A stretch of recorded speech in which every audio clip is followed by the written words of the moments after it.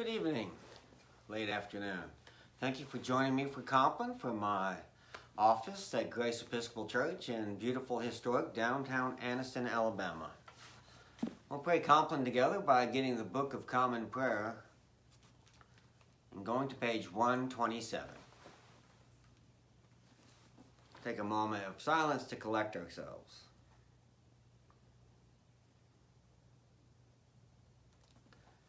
The Lord Almighty grant us a peaceful night and a perfect end. Amen. Our help is in the name of the Lord, the maker of heaven and earth. Let's take a moment of silence before we confess our sins to God and our neighbor.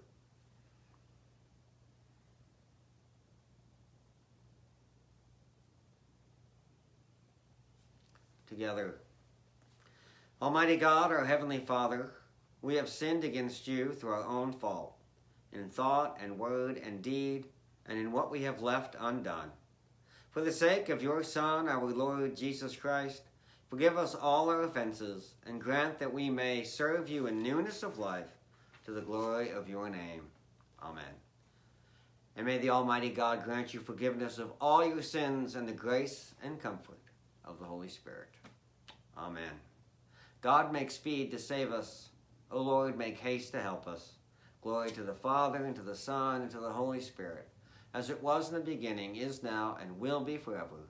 Amen. Alleluia. Let's read the first seven verses of Psalm 91, beginning on page 129. He who dwells in the shelter of the Most High abides under the shadow of the Almighty.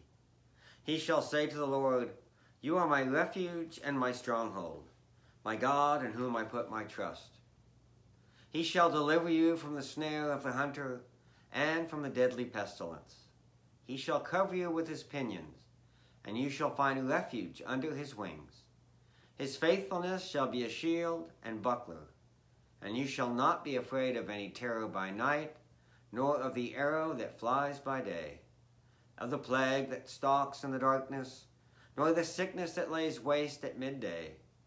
A thousand fall at your right hand, and ten thousand at your right hand, but it shall not come near you. Glory to the Father, and to the Son, and to the Holy Spirit, as it was in the beginning, is now, and will be forever. Amen.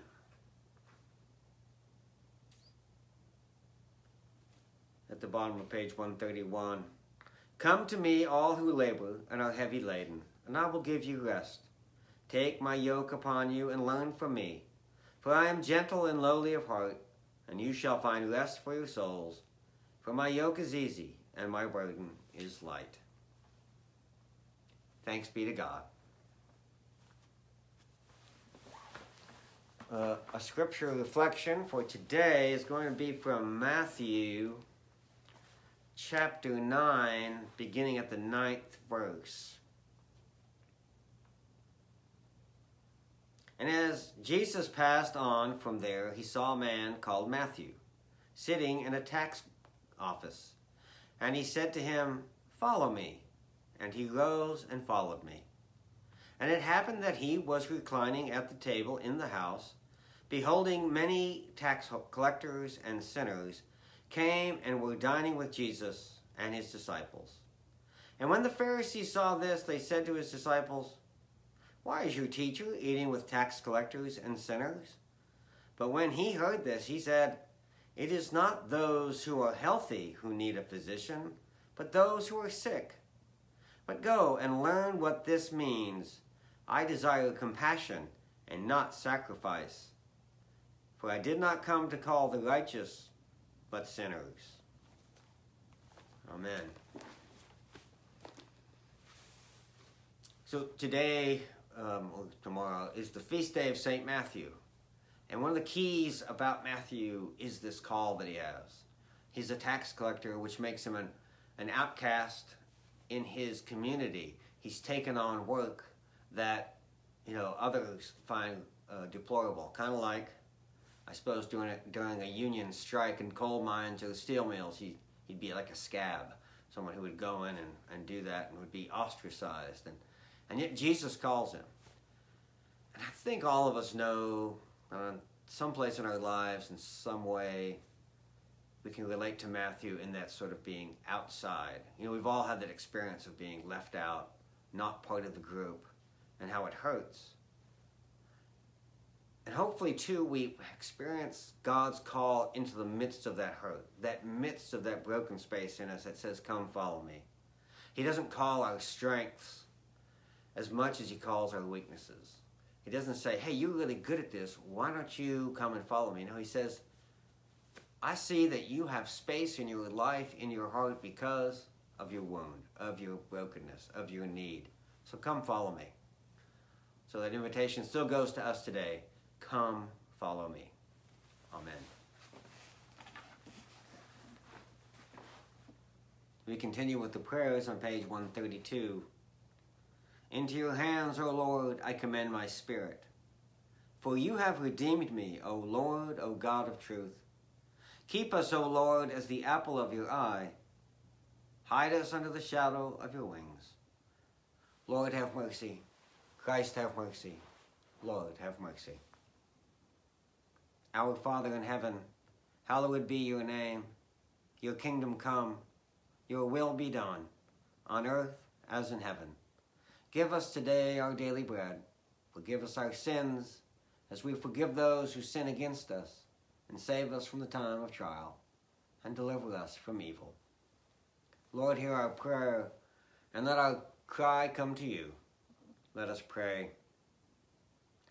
Look down, O Lord, from your heavenly throne, and illumine this night with your celestial brightness, that by night as by day your people may glorify your holy name, through Jesus Christ our Lord. Amen.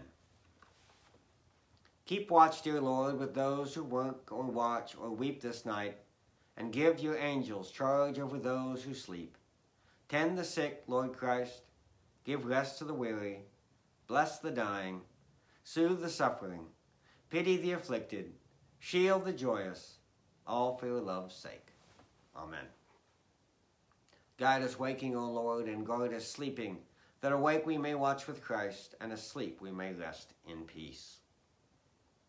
Top of page 135, the prayer of Simeon. Lord, you now have set your servant free to go in peace as you have promised. For these eyes of mine have seen the Savior, whom you have prepared for all the world to see, a light to enlighten the nations, and the glory of your people Israel. Glory to the Father, and to the Son, and to the Holy Spirit, as it was in the beginning, is now, and will be forever. Amen. Alleluia. Guide us waking, O Lord, and guard us sleeping, that awake we may watch with Christ, and asleep we may rest in peace. Amen. Let us bless the Lord. Thanks be to God. All right. In A3, the number 189, what a friend we have in Jesus. We'll give it a swirl.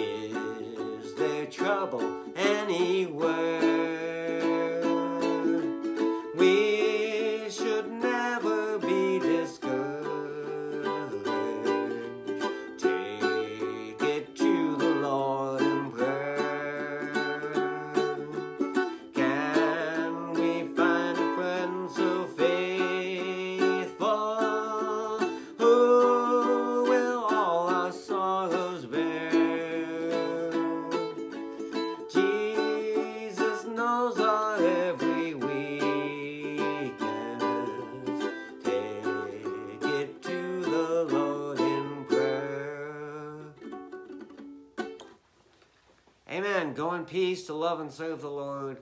Know God's love and grace in the midst of your need and want. Amen.